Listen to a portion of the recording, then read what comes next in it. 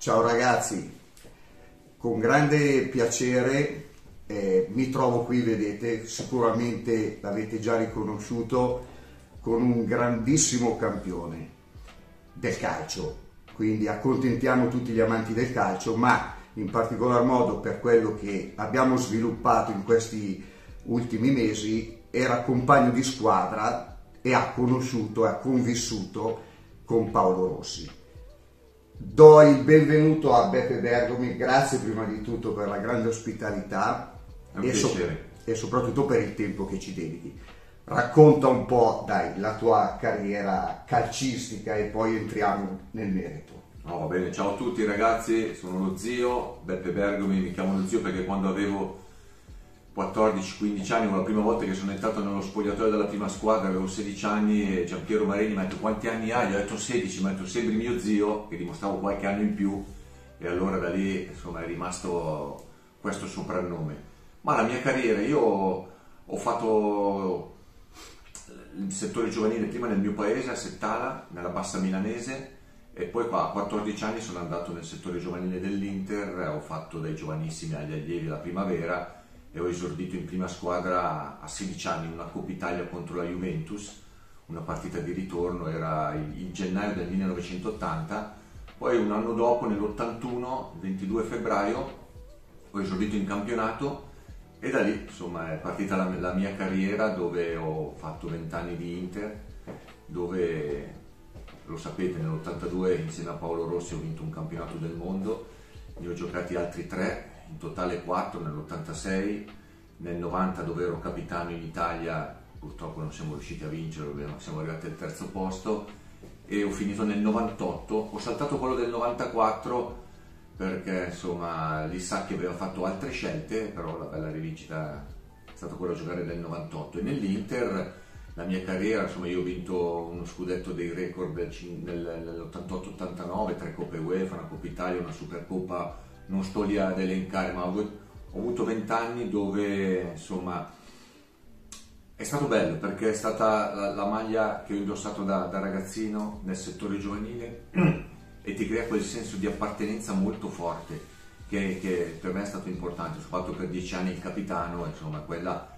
insomma, è stata la mia carriera. Ho smesso nel 99 e nel 99 sono andato a lavorare in televisione a Sky, allora Telepiù, adesso Sky e continuo ancora tutt'oggi, quello è, è il mio lavoro. È una grandissima carriera, soprattutto voglio dire con la fascia di capitano, ma non solo di capitano dell'Inter, ma della nazionale, che ricordo bene ha giocato quattro mondiali esatto, alla sì. fine. Eh.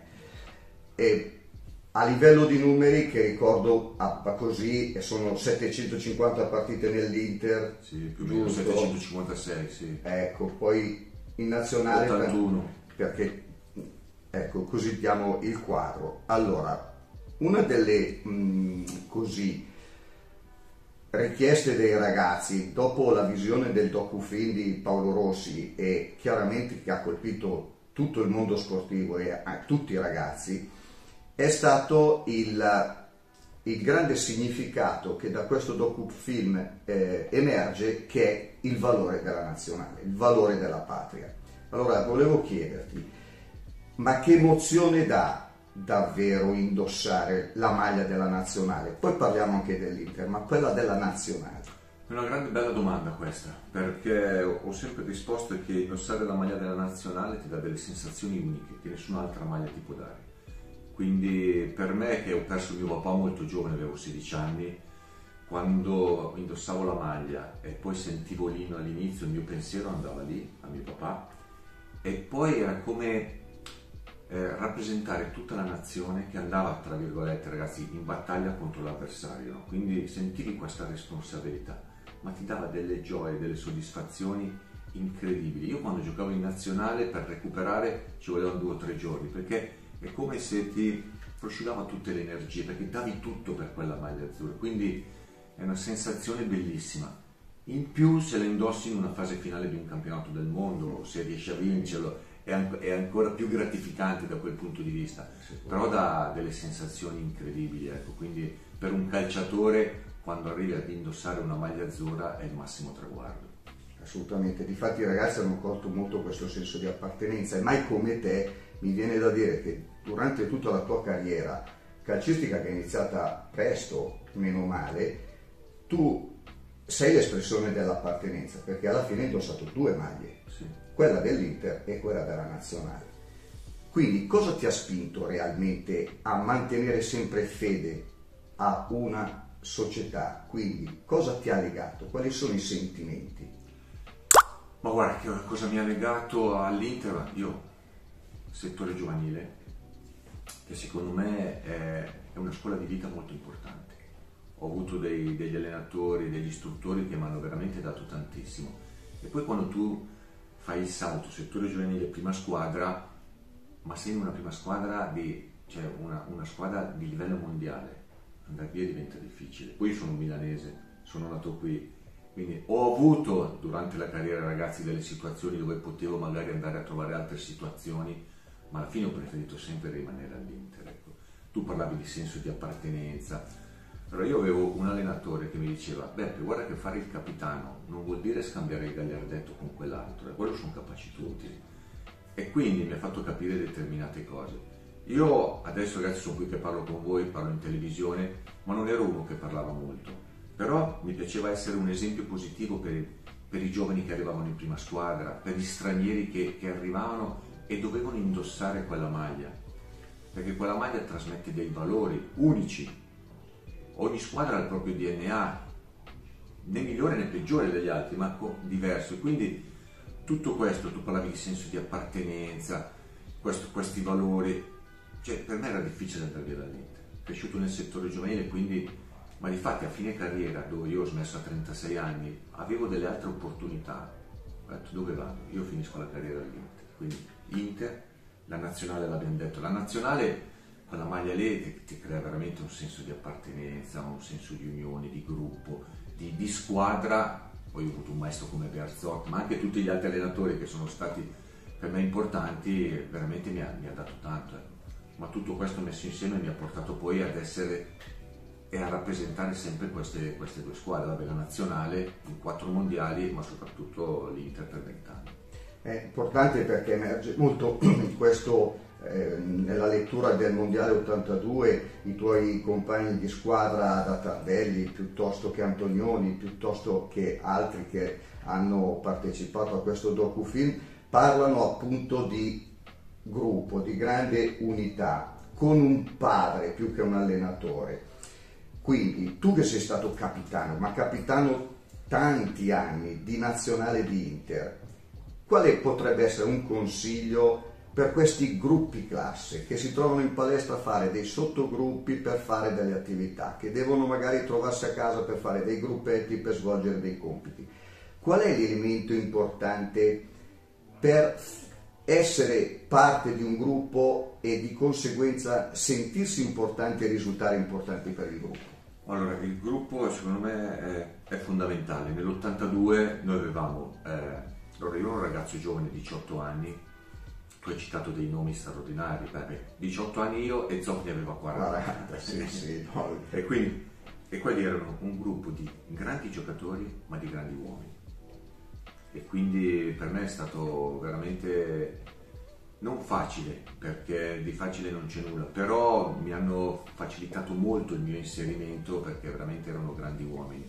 E davanti, cioè, davanti a noi c'era Berzot, che era il nostro grande condottiero, eh, che era uno che non sapeva solo di calcio, era una persona colta, intelligente, sapeva trasmettere i valori.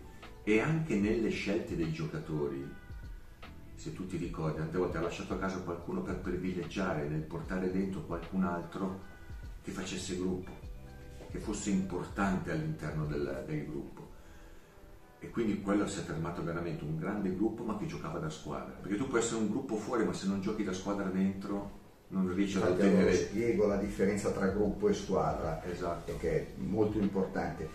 E, che... e, niente quindi tutto questo. Io poi per quanto riguarda la, la vostra attività ragazzi io alleno dei ragazzi qui in Accademia Inter e, e dico sempre che per fare gruppo ci vuole secondo me una stima reciproca. Cioè devono, devono volersi bene tra di loro, un rispetto reciproco, ma il rispetto delle regole, il rispetto di se stessi, di chi ti sta vicino. Eh, io parlo, parlo di una squadra invisibile, non so come funziona da voi, ma da noi non so il ruolo del magazziniere, di quello che pulisce gli spogli, cioè sono tutte persone che loro devono rispettare, che quando arrivano devono certo, salutare, certo. tutte queste componenti poi fanno gruppo all'interno di una squadra, ma la stima reciproca che deve esserci tra di loro, parlavamo prima di, di valori, di senso di appartenenza, perché ragazzi ricordatevi sempre che non è importante tanto il nome che portate sulle spalle, io dico sempre ai ragazzi, ma lo scudetto che portate sul cuore perché se voi riuscite a capire che è quello l'importante, allora riuscite veramente a, a fare gruppo e andare oltre gli ostacoli. Ma un'altra cosa che mi, mi piace dirvi è che per raggiungere i risultati bisogna fare fatica. Perché io mi riferisco, la scuola è diversa, ma nel calcio tutti dico ma per voi giocare a calcio è un sacrificio, tutti mi rispondono di no, perché è bello, no? Cioè, però se vuoi ottenere qualcosa devi fare fatica perché se nessuno, nessuno ti regala niente. Quindi queste sono le cose che cerco di dire a loro e se voi siete anche un gruppo, queste sono delle cose che vanno bene secondo me anche a, a livello di scuola.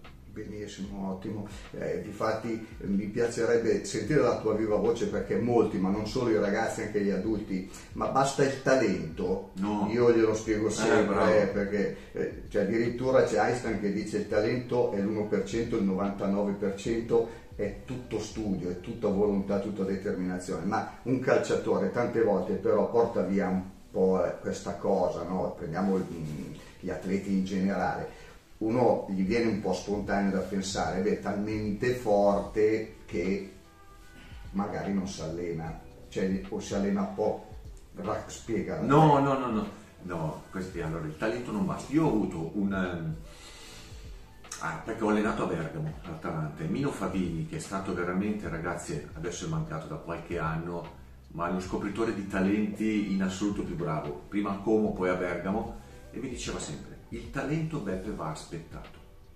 Quindi magari ci sono giocatori di talento che magari non, ha, non ce la fanno perché fisicamente non sono pronti, ma si aspettano. Poi dopo, come dicevi prima tu, il talento non è sufficiente perché ci vuole quella forza di volontà, quella voglia di far fatica, quella per raggiungere dei risultati bisogna avere la pazienza, pazienza che con, con, i giovani tante volte questi ragazzi non hanno, perché vogliono bruciare le tappe, perché gli stessi genitori tante volte, come tipo, soffiano su di loro, no? E quindi questo loro voler arrivare in anticipo o anticipare le tappe si riverbera un po' sui ragazzi che tante volte non hanno la pazienza di aspettare il loro turno. Quindi sono tutte cose che secondo me a livello giovanile secondo me sono importanti. Quindi il talento non è sicuramente sufficiente, perché il Signore ha dato a tutti dei talenti, però se non ci metti la voglia di far fatica, di lavorare, di, di, il, come parlavamo prima, il senso di appartenenza, la, la, volontà, sono tutte cose che poi ti fanno andare oltre, ecco, perché ne ho visti tanti nel settore giovanile avere tanto talento, ma poi alla fine non riuscire a fare quel salto per arrivare a... Ognuno di noi trova la propria strada, non è detto che, che devi arrivare per forza in Serie A, eh? però fare quel salto e raggiungere quella strada, quel tuo obiettivo che ti sei posto. Certo.